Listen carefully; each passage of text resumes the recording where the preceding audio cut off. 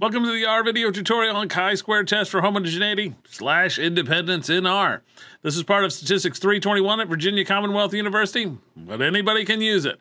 All right, let's get started here. So the data set we're going to use is the mifish.csv data set that we've used when we were playing with text before, if you remember. Uh, I have this data set on my desktop and I'm going to read it in now and we'll look at it really quick to refresh our memories of what's going on with this. Notice that this has a species and location column, and all of the data in here is text.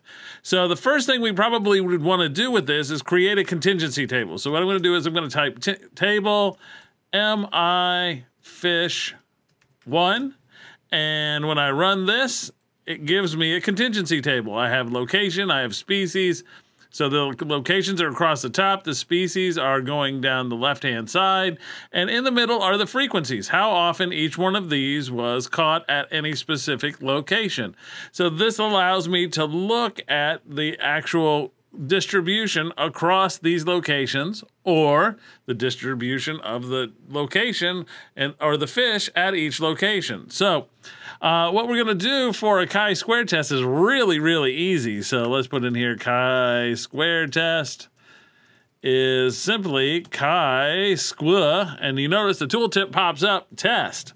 All you have to do is pop in uh, the data set that you're looking for, MI Fish 1, and this test will test to determine whether we have independence or homogeneity across any of these rows or columns.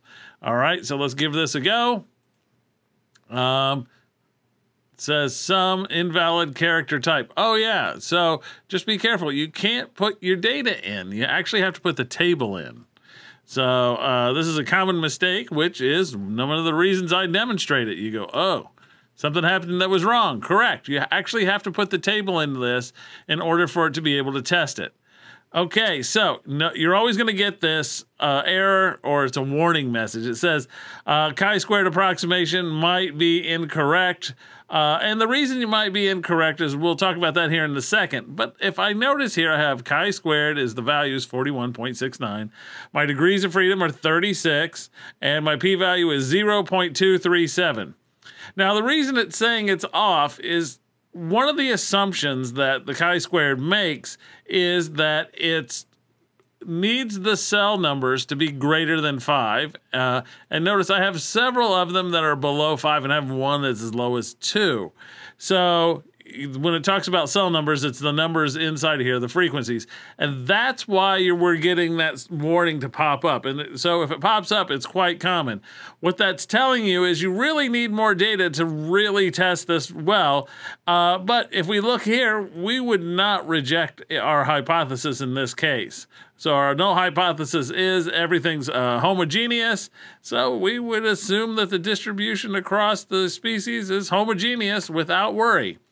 All right, so this has been a short video, but chi-square tests are pretty dang on easy. So uh, feel free to jump to the next video.